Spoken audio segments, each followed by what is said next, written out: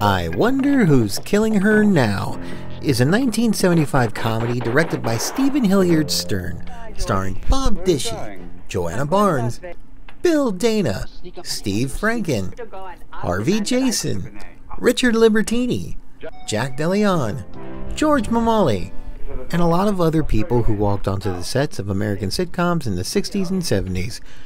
And that's the vibe of this movie. A 70s sitcom minus the laugh track.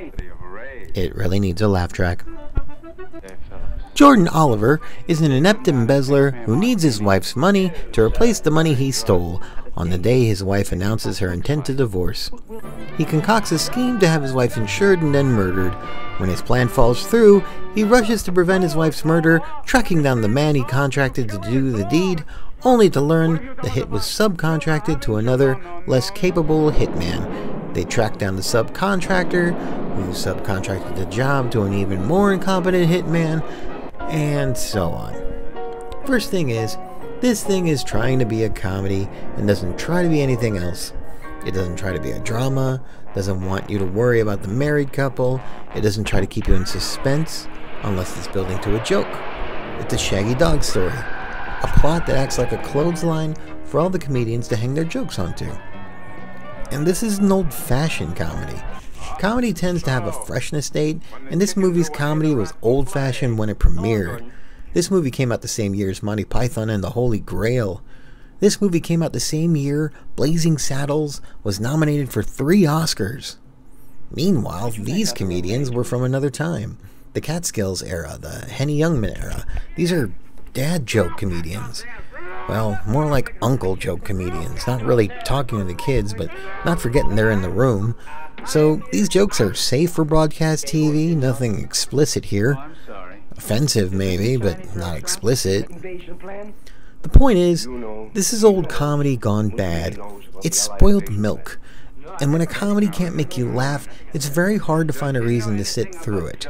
This film was one of Steven Stern's first and few attempts at directing comedy. He would end up pivoting back to dramas for the most part, and over the next two decades, he'd end up making a lot of TV films especially in the action genre. The screenwriter, Mickey Rose, was an established sitcom writer who also co wrote two of Woody Allen's early funny movies. I Wonder Who's Killing Her Now, meanwhile, is all Mickey Rose. Student Bodies makes a lot more sense now. So, how do you make it through this movie? One thing you can do is imagine Peter Sellers in it. He was originally recruited to bring his sophisticated chameleonic style to the story, but he backed out due to health problems. If he'd done this movie 10 years prior, who knows which role, or how many of them, he would have played. Another thing to get you through this movie is figure out where you've seen these guys before. Bewitched, I Dream of Jeannie, Barney Miller, Star Trek, there's a lot of hours of television among all these clowns. If you've watched movies or TV from the pre cable era, be it the first time around or on those TV rerun channels, you could birdwatch this thing, print out the cast list from IMDb or somewhere, and distract your bored mind by trying to figure out what show or movie you've seen any of these guys in before. And if somebody could email me which scene that Charlie's mom from It's Always Sunny in Philadelphia was in in this movie, I'd really appreciate it. I'd really rather not watch this movie again. The best advice I can offer is don't expect to laugh. The second time I watched it, I went in knowing it wasn't going to make me laugh.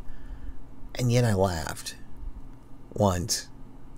I won't tell you which scene, I'm a bit embarrassed by it, and it probably won't be the one joke that you'll laugh at either. That's a good thing about this film, that it keeps trying and trying from different angles so maybe you'll find your needle in this haystack as well.